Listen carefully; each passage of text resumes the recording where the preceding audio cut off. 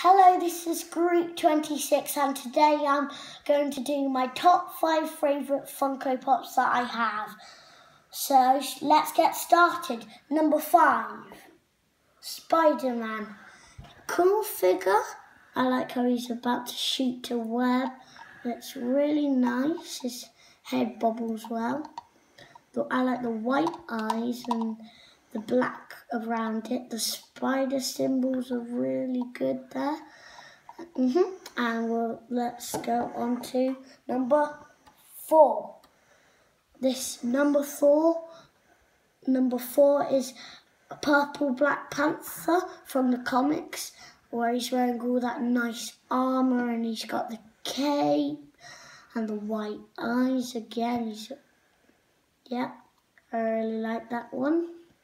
So let's go on to number three, which is Golden Spider-Man. He's another Spider-Man. He's also about to shoot a web. I like him. There's his head bobbling. He's made out of plastic and he's painted gold. I really like the detail. The spider symbols are great. Yeah.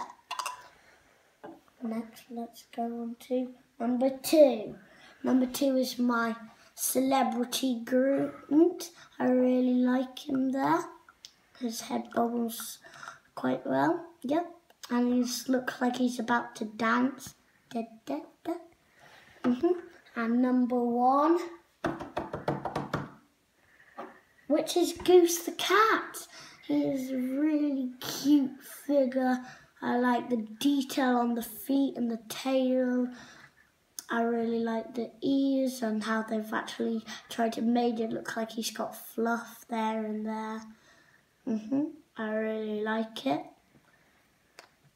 Thank you for watching my video and as these are my top favourite Funko Pops that I have, what are yours?